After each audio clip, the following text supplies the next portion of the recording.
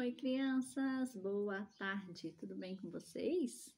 Como passaram de feriado, de fim de semana? Tudo bem?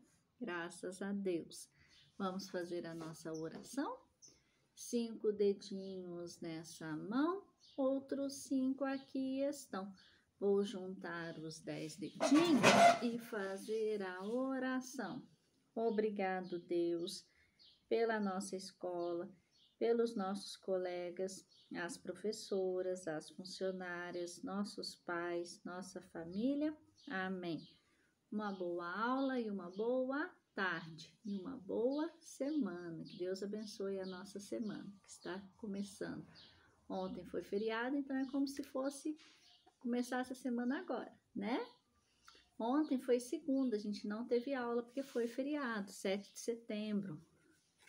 Feriado da independência do Brasil. Muito bem. E hoje é dia 8, 8 de setembro de 2020. Ainda estamos no inverno, mas já está acabando e hoje o tempo está ensolarado. Muito bem, meus amores. Vamos pegar a apostila para Tionara? Todo mundo pegando rapidinho e vamos abrir na página 55. Olha aqui, ó. 55. Nós vamos continuar a aprender sobre o número 12. Lembra que a última aula a gente já viu o 12? O 1 e o 2. 12. D com O, 12 com EZ. 12.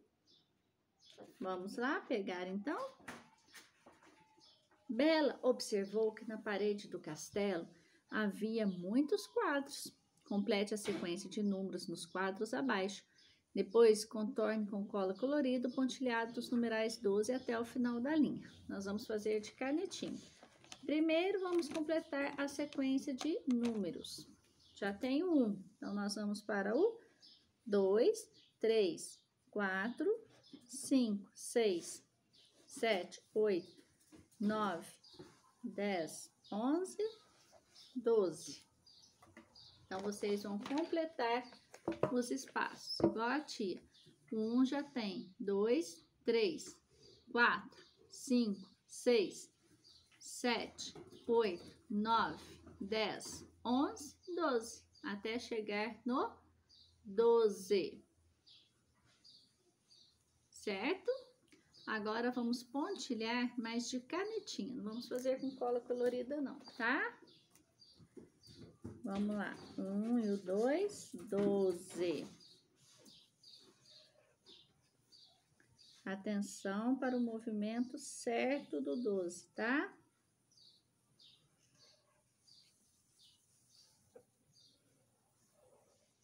Aí, olha só, prontinho doze. Viu o movimento do doze? Um e o dois. Um e o dois. Muito bem. Um e o dois. Então, crianças, preste atenção. Agora nós vamos para a página cinco, seis. Olha lá, cinco, seis. Muito bem, vamos ver? Fera contou a Bela que antes seus dias no castelo eram muito tristes, mas tudo quando ela, mas tudo mudou quando ela chegou. Ela, ele passou a sorrir e às vezes até se esquecia da sua aparência. Observe as duas figuras abaixo e vamos destacar da página adesiva. Espera aí, só um minutinho, crianças. Aí, a Jess querendo mexer com bola perto da tia. Bola.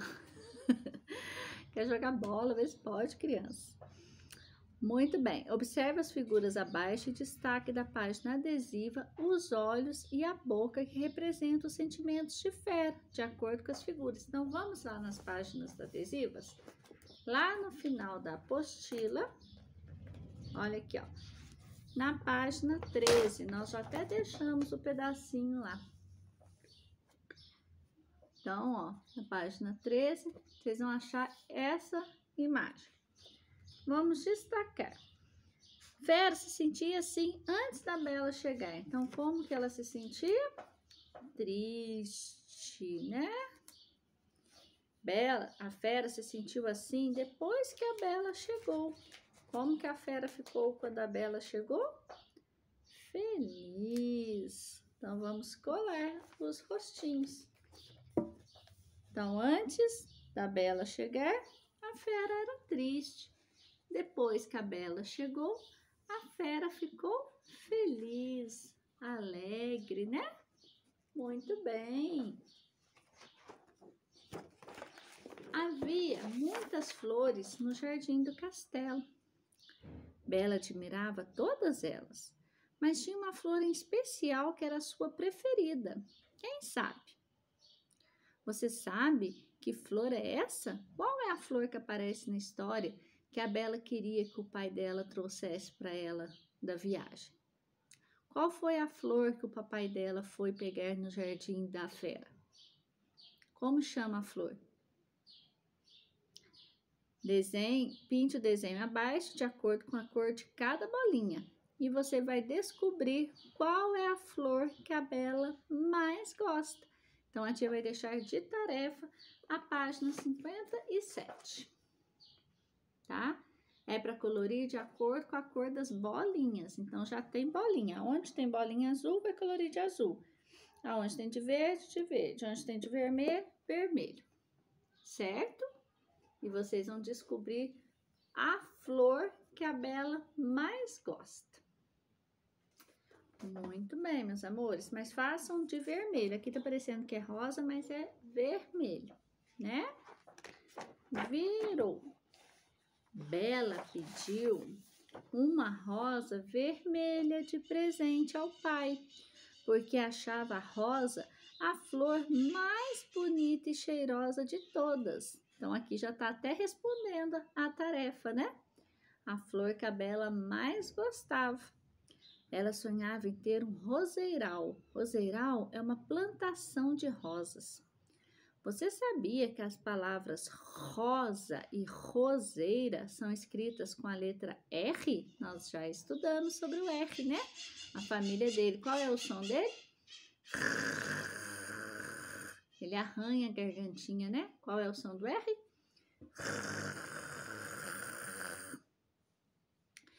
Então, nós já fizemos o som. Agora, vamos falar a família do R? Quem lembra? Vamos lá. Quem lembra vai falar com a tia, ó. R. Qual é o som dele? Qual é a família dele? Rá. Ré. Ri. Ró. Ru. Muito bem. É o som do R. Ra, ré, ri. Ró, ru. Escolha a cor de tinta de que mais gostar. Molhe seu dedo e passe no pontilhado da letra R abaixo. Nós vamos fazer essa por último hoje, tá? Porque aí a gente volta nessa folha para deixar a apostila secar. Vamos virar aqui enquanto isso. Bela passeava pelos canteiros de diversos tipos de flores, mas o reseiral era o que ela mais gostava. Observe a trilha baixa e ajude Bela a chegar no roseiral. Faça um traçado com giz de cera vermelho. Vamos fazer com canetinha. Passando apenas pelos lugares onde estão as figuras com o mesmo som da letra R, de rosa. Então, olha só. Vamos começar. A gente pode começar pelo sapato? Não, o sapato começa com S. A gente pode começar pelo caminho da chupeta? Não. Bico? Não. E rádio? A gente pode começar por esse caminho?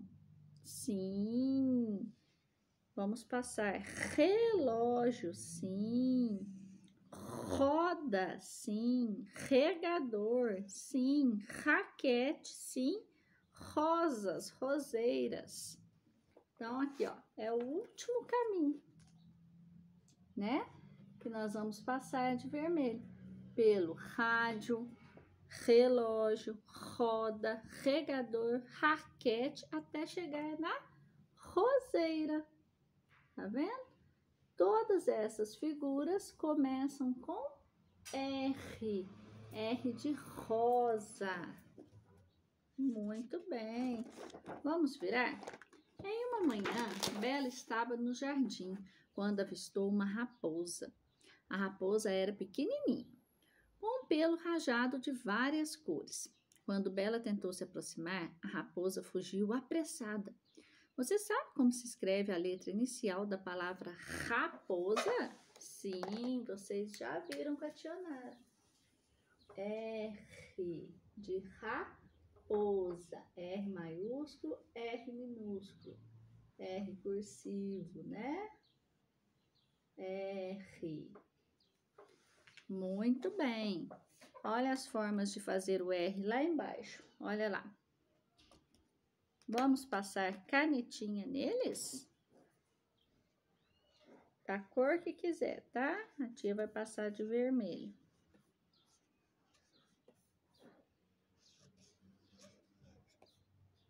O R maiúsculo, o R minúsculo.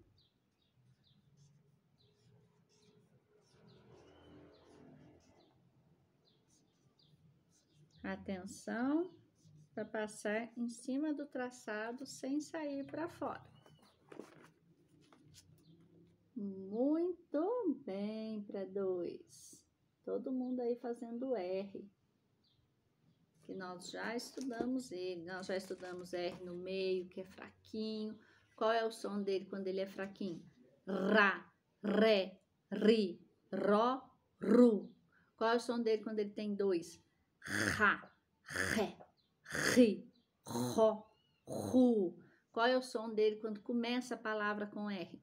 Ra, ré, ri, ro, ru. Todo mundo aí já sabe. Bela sabia que com a letra R de rosa é possível escrever muitas outras palavras. Vamos ver qual é o som do R mesmo? Arranha gargantinha. Agora vamos circular as figuras que têm o nome iniciado com o mesmo som da palavra rosa. Vamos pegar uma canetinha de qualquer cor. Vamos lá. Rato. Começa com R? Sim. Vamos circular o rato. Rei. Sim. Rinoceronte. Sim. Robô. Sim. Agora aqui, rio. Sim. Relógio. Sim. Raposa. Sim. Rua. Sim. Vaca. Boi. Cavalo. Leão. Tapete livro, tubarão. Não. Então, olha só o que, que nós circulamos.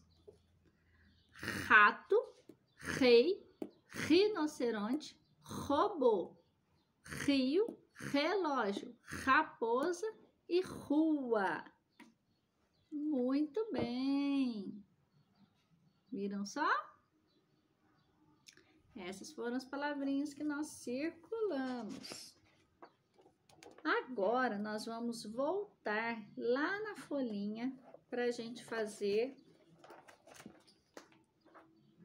Aqui, ó, a tia vai fazer essa, tá? Que a tia deixou de fazer, vou passar a cola colorida aqui, o dedo com guache. E vocês vão fazer primeiro a tarefa, que é essa folhinha aqui. Coloram tudo isso primeiro com lápis de cor ou gigiceira. Gigiceira pode também, tá? Lápis de cor ou gigiceira, canetinha não. Aí depois que colorir essa folha todinha, aí vocês vão fazer essa que a tia vai fazer agora. Por quê? Porque essa tem que ser por último, porque tem que secar, né? Então, deixa a tia ver aqui. Vamos pegar uma tinta. A tinta vai, a tia vai passar rosa. Vocês podem passar a cor que vocês gostam, tá? Escolham aí. Tia escolheu rosa.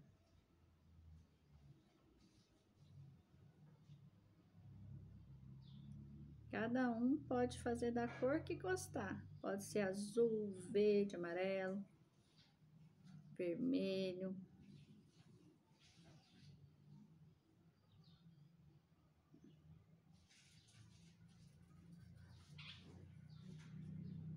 Aí, um dedinho só, hein? O dedinho indicador, né? Olha só como ficou o da tia. R, R, R de rosa, né? Da cor rosa. Muito bem. Então, por hoje, crianças, é só. Tia Nara vai deixar o meu secando aqui e vocês façam aí a tarefinha agora, tá bom? A tarefa de colorir e a consoante R. Beijinhos, até amanhã. Ó, achei que tinha sujado de tinta. Tchau, crianças, até amanhã. Tchau.